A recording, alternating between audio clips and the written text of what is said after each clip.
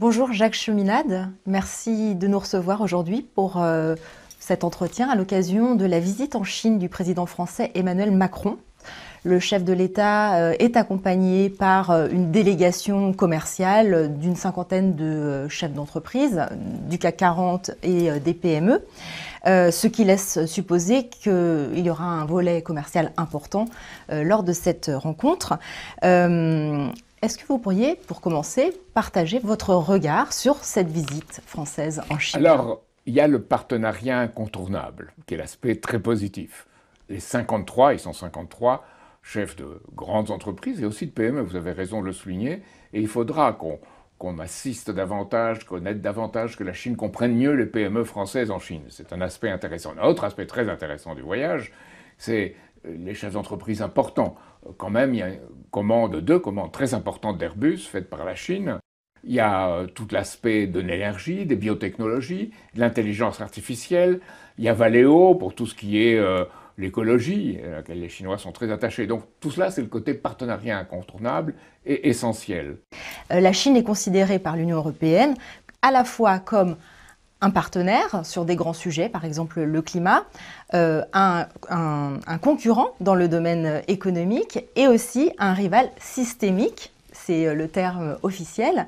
Comment voyez-vous euh, cette approche triple et quelles sont, d'après vous, ses, conséquences sur la relation entre l'UE et la Chine? Je crois qu'il sera difficile de maintenir très longtemps une approche triple. Ces choses-là rentreront en contradiction les unes avec les autres. je pense, pour ce qui concerne la France, que l'esprit du discours euh, d'Emmanuel Macron, qui était le 8 janvier 2018 à Chehan, est quelque chose vers laquelle on doit revenir de façon plus nette. Et que la Chine, de son côté, doit comprendre le rôle que la France peut jouer au sein de l'Union européenne. Pensez-vous que cette visite euh, permettra euh, de faire avancer le processus de paix? Alors, il faut sortir de tous les préjugés des médias occidentaux. Ce que nous dit Le Monde, le grand journal français, c'est que Macron part pour infléchir la position de Xi Jinping. C'est absurde. Quelqu'un qui a la puissance qu'a la Chine aujourd'hui ne sera pas infléchi par un pays comme la France. Mais la France peut définir des domaines de coopération et de développement mutuel qui, elles, peuvent réorienter ou orienter mieux les choses dans l'esprit, je dirais, d'une France qui ne doit pas euh, comme le disait le général de Gaulle dans son discours de Phnom Penh en, septembre 1966, la France ne doit pas avoir les mains liées. Elle est alliée aux États-Unis, mais elle ne doit pas approuver les États-Unis en tout. De Gaulle avait condamné la guerre du Vietnam. Il faut avoir le même courage aujourd'hui. En tout cas, pour ce qui concerne ce, dossier euh, ukrainien, euh, le président Emmanuel Macron s'est montré plutôt intéressé par les propositions chinoises. Qu'est-ce que vous pensez justement de... Oui, vous voulez réagir 12 points chinois. Voilà, exactement. Euh, qu'est-ce que, que vous pensez justement de cette implication de la Chine pour euh, tenter euh, de, de, faire avancer la paix?